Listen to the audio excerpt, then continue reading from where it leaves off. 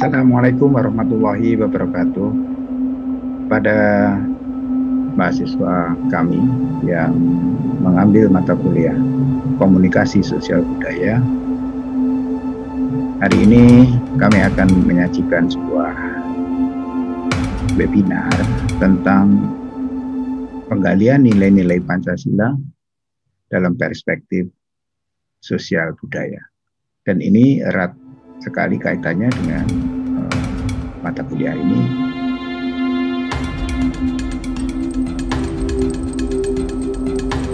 Karena di Indonesia bagaimanapun juga bahwa relasi antara warga masyarakat wajib mendasarkan pada Pancasila sebagai falsafah hidup dan way of life Intinya adalah bahwa dalam merangkai persatuan dan kesatuan nasional Indonesia itu dibutuhkan satu platform yang dapat memayungi seluruh warga negara.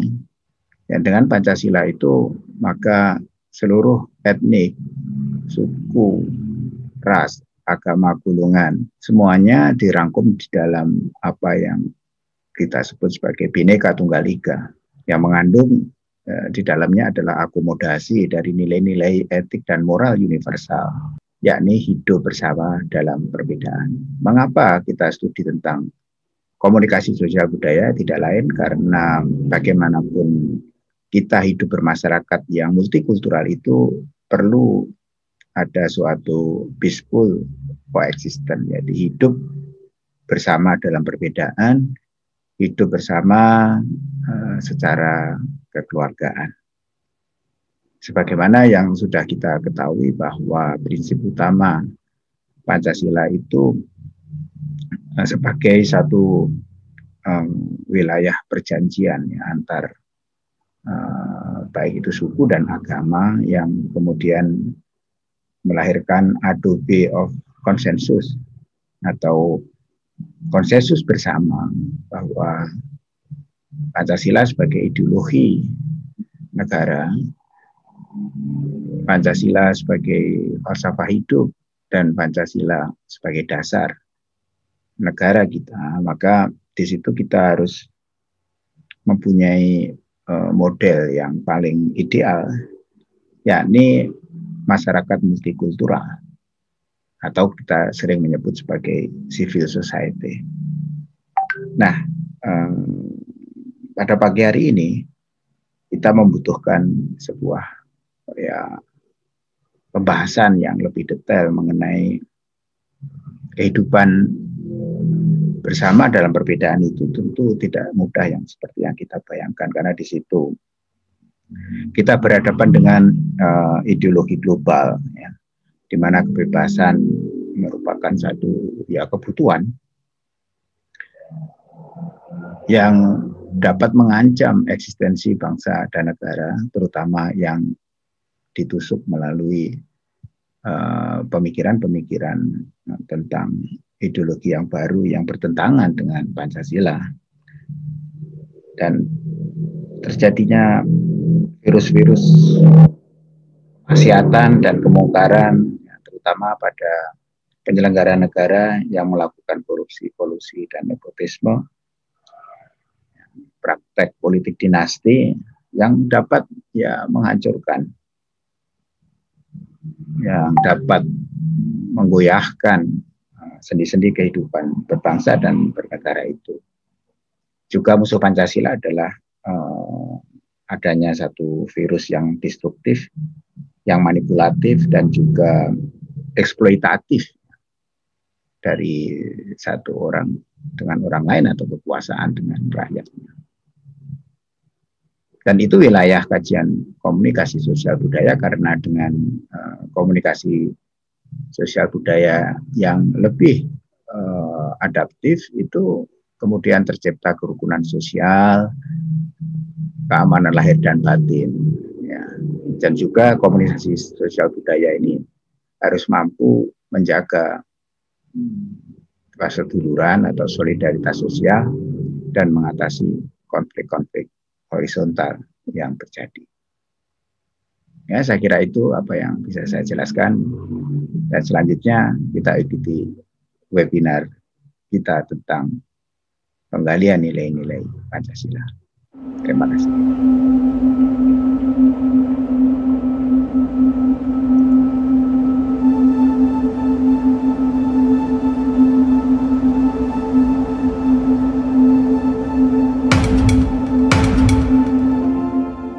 Terima kasih Prof. Ya. Assalamualaikum warahmatullahi wabarakatuh. Terima kasih kepada Dewan Profesor dalam hal ini Prof. Suranto dan Prof.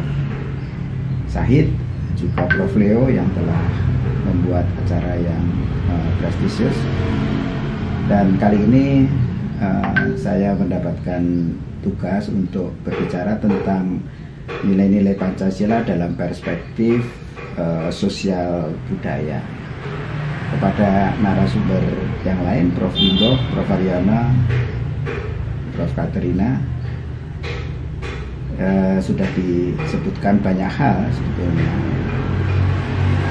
baru yang kita pertanyakan tentu sudah mengapa ini Pancasila ini uh, menjadi problematik ya dari hari ke hari saya kira bukan Pancasilanya ini karena manusianya yang uh, terus berubah sesuai dengan uh, perubahan yang terjadi di dalam uh, masyarakat kita. Apa yang terjadi ya yang mempengaruhi uh, kepercayaan kita terhadap Pancasila itu yang pertama saya kira karena pengaruh teknologi komunikasi informasi yang begitu banyak menyediakan uh, pasar informasi ya, dagangan yang berbasis informasi yang isinya macam-macam. Ada yang bersifat ekonomis, ada yang bersifat ideologis, tetapi juga ada yang uh, bersifat uh, kebiasaan-kebiasaan.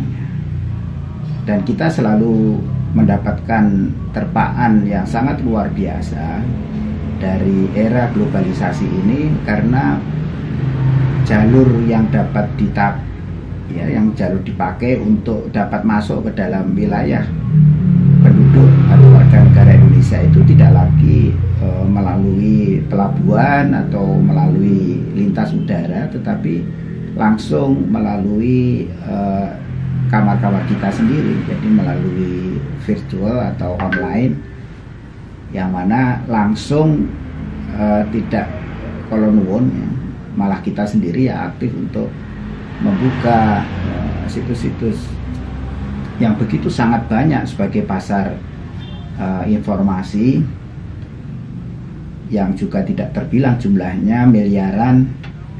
Dan uh, kita mungkin saja tidak mempunyai kesiapan untuk dapat mencerna informasi uh, secara lebih uh, cerdas ya.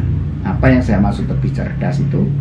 Karena informasi-informasi itu uh, di dalam online itu tidak merupakan sebuah realitas atau tidak fakta.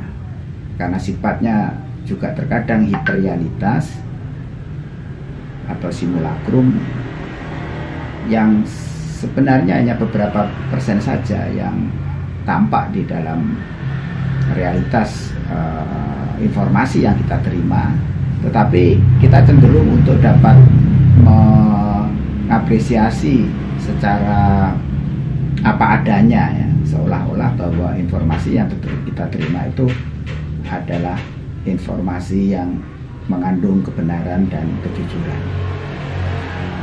Kalau melihat fakta di masyarakat, Prof. Dia bisa disampaikan eh, PPT saya kalau ada ya. Di situ kita memang sangat uh, prihatin ya, karena memang Pancasila itu sudah sangat apa, uh, dilupakan orang ya. Beberapa data yang ada di dalam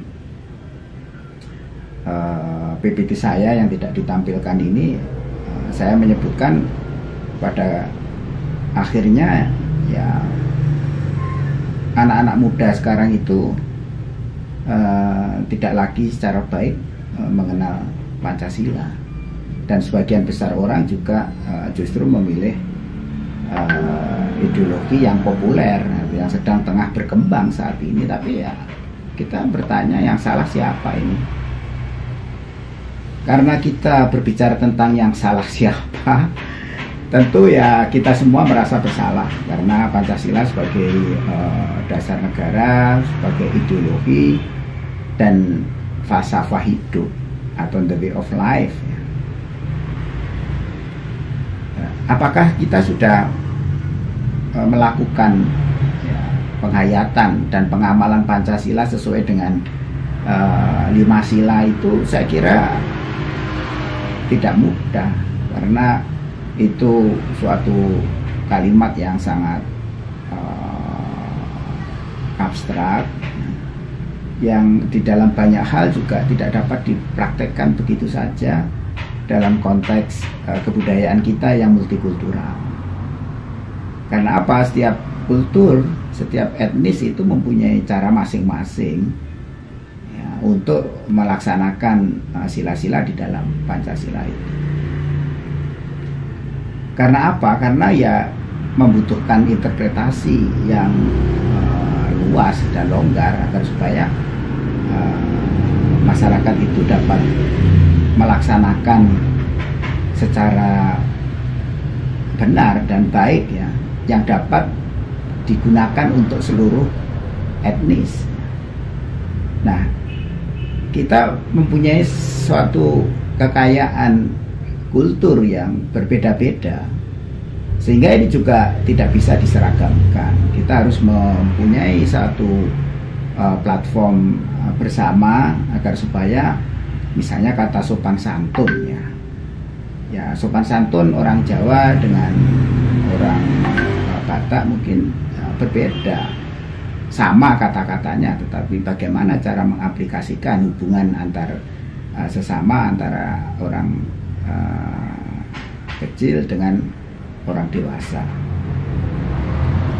Nah ketika terjadi apa namanya cross culture di situ maka tidak menutup kemungkinan bahwa relasi antar ras, antar penduduk, antar agama itu kemudian terjadi banyak sekali uh, kesalahpahaman atau prejudice, ya, sakwasangka antara satu dengan yang lain, ya.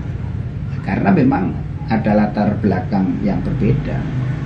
Nah di situlah Pancasila hadir sebagai uh, sebuah akomodasi yang me, apa, memberi platform hubungan uh, nilai etik dan moral yang universal ya. meskipun secara detail itu uh, tidak bisa dijalankan bersama-sama dalam hal ini maka Pancasila itu adalah sebuah uh, adopt of konsensus ya Adobe of konsensus itu semacam uh, satu ya konsensus bersama sebuah perjanjian bersama yang harus ya kita patuhi karena uh, bagaimanapun juga Indonesia ini merupakan wilayah hidup bersama dalam perbedaan atau dalam uh, Pancasila disebut Bhinneka Tunggal Ika. Kata-kata bineka tunggal ika yang begitu banyak itu lalu kemudian menjadi satu itu yang seperti apa yang harus kita lakukan? Kesatuan dalam hal apa di dalam konsep yang universal disebut sebagai peaceful coexistence. Jadi hidup bersama dalam perbedaan atau hidup bertetangga secara baik. Nah hidup bertetangga secara baik itu tidak hanya di dalam ucapan atau ungkapan. Maka Pancasila perlu kita dengungkan setiap saat karena di situ ada nilai-nilai yang harus dimengerti oleh semua warga bahwa Pancasila itu mengandung muatan solidaritas sosial itu berarti bahwa solidaritas sosial ya dia bergotong royong jadi kita saling asih asuh dan asah itu kan eh, sangat penting ya dalam kehidupan kita. Selain itu tadi saya katakan dislocation dan disorientation itu kan juga persoalan pasar ideologi yang berkembang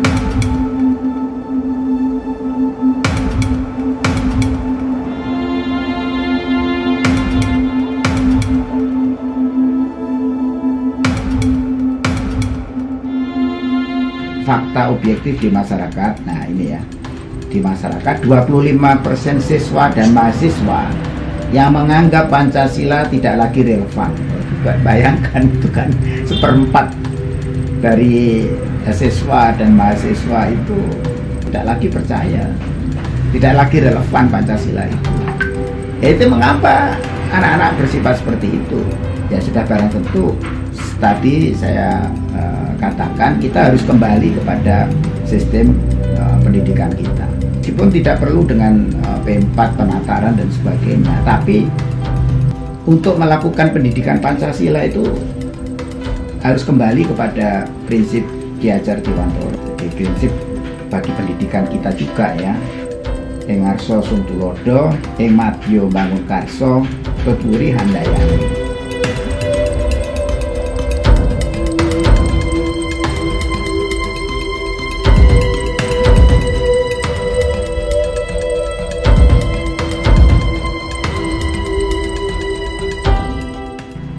Mendidik siapa saja itu baik itu anak-anak kita maupun mendidik uh, masyarakat kita dan jiwa ini mesti harus tidak hanya dipunyai oleh para dosen dan pendidik tetapi juga berlaku juga untuk para penguasa tadi sudah diceritakan oleh Prof. Ariana ya prakteknya masih banyak penyelenggara negara yang korupsi kemudian juga uh, banyak juga kolusi nepotisme ya. Nepotisme itu politik dinasti itu. Ya tetap saja berlaku seperti itu. Lalu masyarakat bagaimana? Wong ingar sosum tulodo. Lah kalau tulodonya seperti itu maka ya kita tidak bisa menyalahkan masyarakat.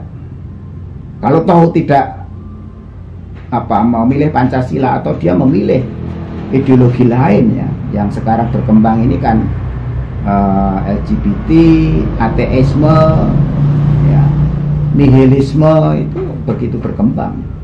Yang tidak dapat dijangkau ya di dalam uh, pemikiran ini. Dan saya kira BPIP mestinya uh, ada pendidikan-pendidikan yang berbasis untuk apa namanya keluar dari sila pertama yaitu ketuhanan yang Maha Esa. Yang kedua, hasil survei menyatakan bahwa 9% atau sekitar 15 juta rakyat kita menginginkan khilafah. Ya 15 juta jiwa itu juga akhirnya kalau itu menjadi gerakan juga eh, banyak ya.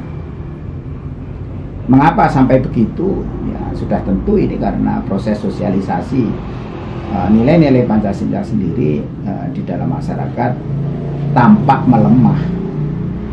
Seharusnya kan habis gelap terbitlah terang ya. Habis penjajahan tadi yang banyak dikulas oleh Prof Ariana tadi ya habis penjajahan ya kemerdekaan, kebebasan. Nah, memaknai kemerdekaan dan kebebasan di dalam alam kemerdekaan ini juga harus selalu disebarluaskan agar supaya diketahui bahwa uh, si Pancasila itu merupakan sebuah perjanjian bersama untuk dapat mem memayungi atau memberi platform untuk um, relasi multikultural yang kita miliki itu.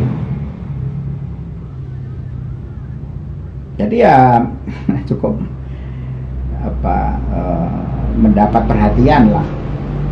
Kemudian juga uh, hasil yang lain 67 sampai 78 persen.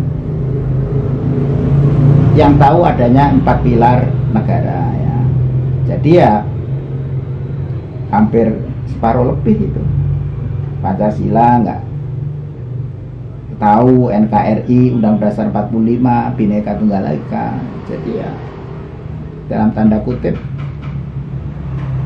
negara gagal dalam upaya untuk membumikan Pancasila ini secara lebih konkret di masyarakat.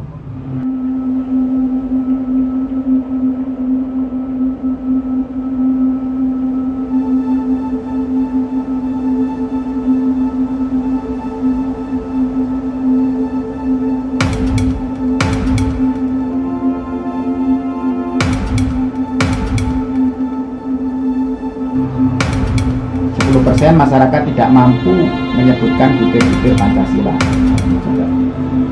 Sering kita lihat kan di media sosial itu kok rakyat biasa ya, bahkan anggota DPR saja juga sulit mengatakan lima Pancasila itu. Nah, kalau sila-silanya aja sudah tidak apa ya bagaimana kehidupan sehari-hari bisa mengamalkan. Lalu bagaimana cara itu ya harus kita kembali kepada pendidikan sejak di TK ya, atau di rumah tangga ya. bahwa satu Pancasila ketuhanan yang Maha Esa dua kemanusiaan yang adil dan beradab tiga persatuan Indonesia empat kerakyatan yang dipimpin oleh hikmat kebijaksanaan dalam permusyawaratan perwakilan keadilan sosial bagi seluruh rakyat Indonesia. Itu harus menjadi apa? Pembimbing ada di depan itu karena ini e, merupakan satu kesepakatan bersama secara nasional. Ya pendidikan yang selama ini bagaimana? Tidak begitu. Ya karena ada konsep-konsep baru yang melindas atau meninggalkan uh, apa eh, prinsip-prinsip uh, kehidupan sosial yang Pancasilais itu.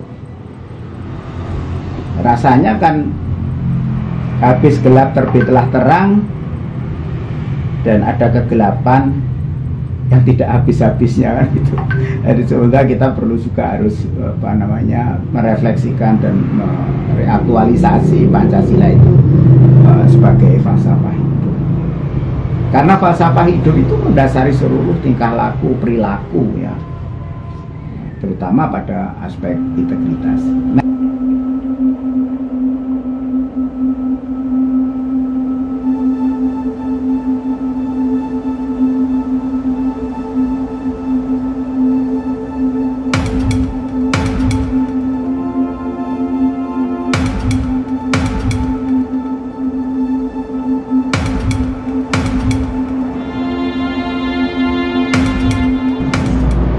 Kita lihat mengapa itu luntur. Karena kita ya diserang dari berbagai uh, tempat. Atau kita itu sedang dalam posisi sekarang ini adalah inundasi dalam formasi inundasi itu kebanjiran banjir bandang informasi.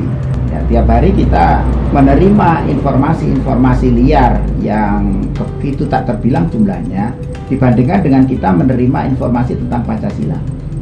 Kalau kita lihat misalnya di apa uh, WhatsApp kita itu satu hari saya menerima lebih dari 300 kabar dan foto misalnya. Ya tidak ada satupun yang uh, memforward ya, tentang dan kita melihat juga kalau kita kembali kepada ajaran uh, Ki Hajar Dewantoro, Engarso Sungtulodo itu kan ya para penguasa itu harus yang di depan itu memberi contoh. Tapi kita lihat juga kan tadi sudah saya sebutkan antara lain bahwa dalam praktek diplomas apa demokrasi ini kemudian muncul kata-kata diktatorship, otoritarisme, oligarki, politik dinasti yang tadi saya ceritakan itu sehingga kepercayaan rakyat terhadap kekuasaan ini ya jangan disalahkan kalau semakin rendah. Karena praktek itu lebih bersifat hegemonik dan anti kritik. Sementara uh, Pancasila memberikan suatu keluasan orang untuk melakukan kritik demi perbaikan. Tetapi ya namanya kekuasaan itu kalau anti kritik itu di mana-mana begitu karena uh, takut kalau uh, tidak dapat dipertahankan kekuasaannya. Tetapi bahwa uh, orang mengkritik itu juga harus dianggap sebagai satu kontrol yang bersifat uh, positif. Next. Ya, sekarang begini. Saya kira yang terakhir. Jadi kita itu mungkin terlalu lelah ya pemberitaan atau informasi yang kita terima itu karena adanya hubungan uh, politik kenegaraan itu apa, berkembang sangat subur di kalangan masyarakat. Dan bahkan masyarakat uh, dilibatkan di dalam wacana atau diskursus antara uh, penguasa dengan oposisi misalnya. Sehingga lelah juga akhirnya. Kalau kemudian masyarakat harus berpikir tentang hal-hal yang mungkin uh, ya bisa melibatkan dirinya tetapi kan itu tidak langsung. Sehingga ada dua apa kubu yang begitu keras bertarung. Di dalam kubu kelompok kepentingan menganggap pemerintah itu otoriter, oligarki, anti kritik dan asing-asing ya juga pemerintah menganggap uh, lawan politiknya sebagai oposisi, teroris, radikal, separatis dan eksklusivisme. Dan negara mengklaim bahwa perilaku-perilaku seperti ini adalah perilaku yang tidak Pancasilais. Sementara wacana yang didengungkan oleh uh, kaum oposisi itu seperti anti kritik, oligarki, otoriter itu juga bertentangan dengan Pancasila. Nah, kemudian wacana yang berkembang di dalam uh, kenegaraan kita ya sesungguhnya sangat luar biasa ada revolusi mental kemudian ada lagi revolusi akhlak itu kan sesuatu yang baik tapi yang terjadi kan bukan revolusi mental dan akhlaknya tetapi bertikai ya tentang hal-hal di luar itu. Bahkan terjadi banyak kasus bullying dan kekerasan di mana-mana. Nah, melihat drama yang seperti itu lebih ngeri dibandingkan drama di dalam pertunjukan Provariana ya. Kalau di pertunjukan itu orang-orang sudah tahu persis gending-gending Pancasila selalu didengungkan. Ya, ayat-ayat uh, kitab suci ya selalu disampaikan. Para seniman saya kira uh, sangat paham tentang bagaimana mengedukasi masyarakat agar supaya tidak terjadi uh, konflik dan ketegangan. Menjamin kerukunan, gotong royong itu memang sudah platform dari uh, seni pertunjukan uh, kita termasuk juga Eh, karya-karya yang kritis yang mungkin mengingatkan kepada terutama akan kritisnya ini kepada uh, penguasa agar supaya uh, dapat berlaku seperti sila kedua kemanusiaan yang adil dan beradab. Juga harus berlaku misalnya keadilan sosial bagi seluruh rakyat Indonesia. Jadi memang harus dijelaskan ya makna keadilan yang seperti apakah yang yang dapat diberlakukan ini. Misalnya kalau e, membuat jalan ya keadilan sosial masyarakat ya semua orang boleh jalan. Tetapi itu kan tidak mungkin semua jalan yang kita buat orang lain boleh lewat. Hanya yang punya kendaraan bagus ya. Kalau kendaraannya di bawah 60 kecepatannya ya nggak boleh uang itu kecepatannya harus 60 sampai 80 juga tidak boleh kendaraan yang tidak bermotor. Bermotor pun kalau sepeda motor juga tidak boleh. Tapi itu adalah juga termasuk di dalam uh, prinsip keadilan sosial bagi seluruh Indonesia. Ya, saya, saya kira itu saja yang ingin perlu saya sampaikan bahwa nilai-nilai Pancasila itu di dalam perspektif sosial budaya itu memberikan keteladanan dan panutan bagi masyarakat. Masyarakat sangat membutuhkan keteladanan itu. membutuhkan kejujuran, membutuhkan apa namanya tadi santun. Jadi rumusnya asih, asah dan asuh. Jadi ya harus rela untuk mengasihi, kemudian ngasuh, termasuk juga memberikan jalan keluar ya. Saya hidup di desa, tiap hari petani berbicara tentang bagaimana sulitnya mendapatkan pupuk. Dan apakah negara ataupun universitas membantu di dalam upaya melakukan penangkalan terhadap hama padi ya, seperti tikus dan berang. Mungkin ya perlu ada prodi baru itu di pertanian itu supaya ada prodi khusus untuk hama tanaman supaya bisa teratasi. Itu merupakan satu pengamalan Pancasila ya mengasuh mengasihi itu ya antara lain memberikan uh, suatu jalan keluar bagi masyarakat yang menderita. Ya masyarakat sekarang membeli pupuk bisa beli meskipun mahal tapi sulit dicari. Itu adalah suatu fakta-fakta di masyarakat kita.